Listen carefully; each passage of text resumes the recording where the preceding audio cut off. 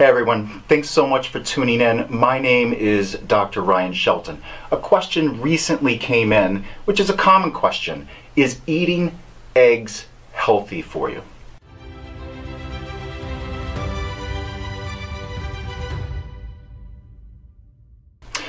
So, this conversation came up actually in the 1970s, 1980s, 1990s when doctors and researchers showed that cholesterol had a link to cardiovascular disease, stroke, heart attack, diabetes. New research has shown that cholesterol, dietary cholesterol intake, has very little to do with your risk factors for those chronic diseases. So cholesterol is basically a paste that the body uses, the body produces cholesterol, but it's not the culprit. It's not the underlying culprit for all of these chronic issues.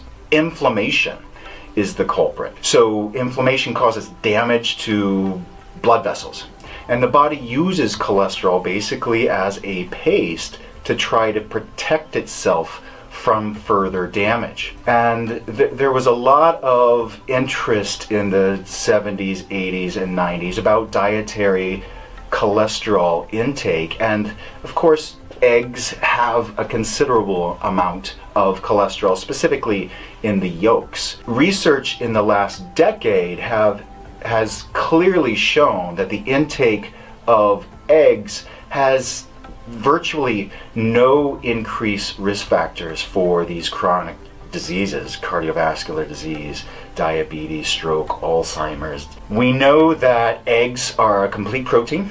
They're high in choline and lutein, both of which are great for eye health, nerve transmission, cell signaling. One study showed that the intake of eggs on a daily basis had no effect on plasma cholesterol or blood cholesterol. Another study has shown that there's no effect on increasing risk factors, daily intake of eggs for cardiovascular disease, metabolic syndrome. Uh, another study in Korea showed that the daily intake of eggs actually decrease the risk of metabolic syndrome. A study done on a Mediterranean cohort showed that there were no changes in blood cholesterol or triglycerides. Another study has shown that the daily intake, the daily consumption of eggs, actually improves the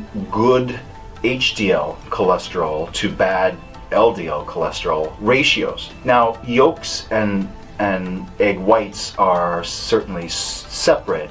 But another very cool study has shown that including the whole egg, both yolks and whites, actually improves your body's potential to increase muscle protein. So avoiding the yolks, which is higher in cholesterol, may diminish that effect. We know that certain proteins, like red meat, increase the risk factors of cardiovascular disease and diabetes, but uh, studies have shown that eggs do not. When my patients ask, are eggs healthy to eat? I say absolutely. We want to try to limit it to basically one egg per day, seven per week, something like that.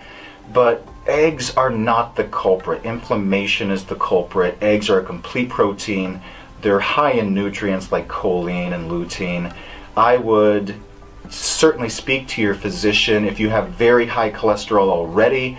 You may want to talk to them about uh, limiting that egg consumption a little more uh, but the research shows that approximately one egg per day, or seven per week, averaged out over the week, has no negative effect on uh, cardiovascular disease, on diabetes, on Alzheimer's disease. So when my patients ask, are eggs healthy? I say absolutely. Of course, it depends on how you cook them too.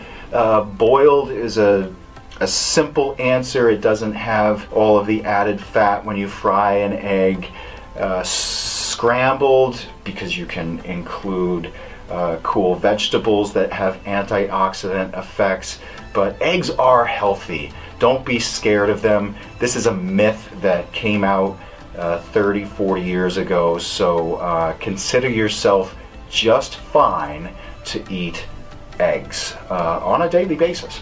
Thanks so much for tuning in. I want your feedback. I want more ideas and questions. I love it when these questions come in.